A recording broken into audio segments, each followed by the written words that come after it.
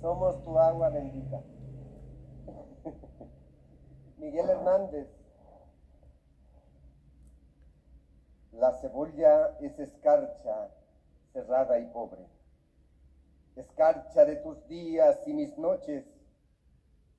Hambre de cebolla, hielo negro y escarcha, grande y redonda.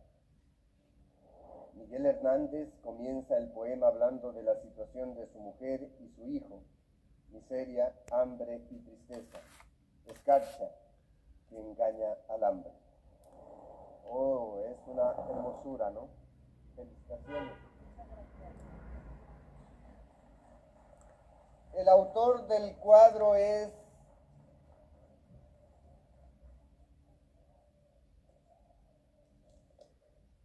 Ramón Palmeral.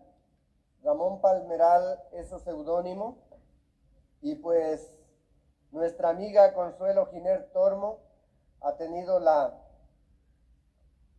la generosidad de invitarlo y, pues ahí está con este, con este hermoso cuadro, este hermoso, ¿qué sería? Un arte, poema o algo así, ¿no?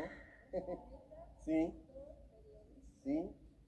Y está hermosísimo, ¿no? Qué pena que se quedó en Alicante.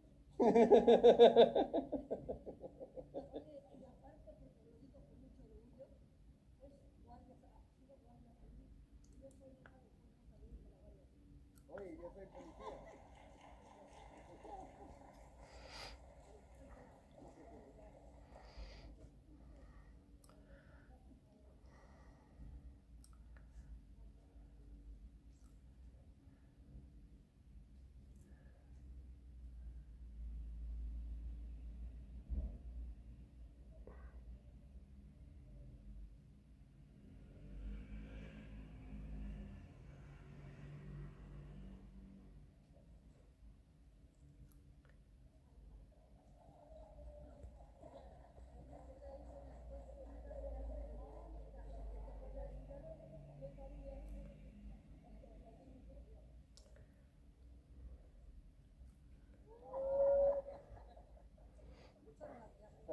Felicitaciones, ¿ah?